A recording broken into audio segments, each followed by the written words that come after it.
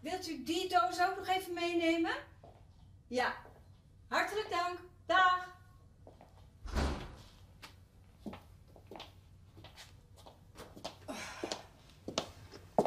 Kapot. Alsjeblieft. Dank je. Ik vond het wel leuk hoor, zo'n klusje samen. Oh god, heb ik iets aangeboord bij je? Maak je geen zorgen, ik heb al een uitzendbureau ingeschakeld. Hm, zit lekker. Ik was wel tevreden over eh, de schoonmaker die we nu hebben.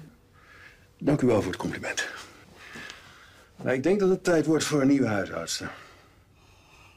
Ik was wel eh, gewend aan mijn vrijheid. Dat je gewoon in je naki door het huis kan lopen zonder dat je bang hoeft te zijn dat er ineens iemand voor je neus staat.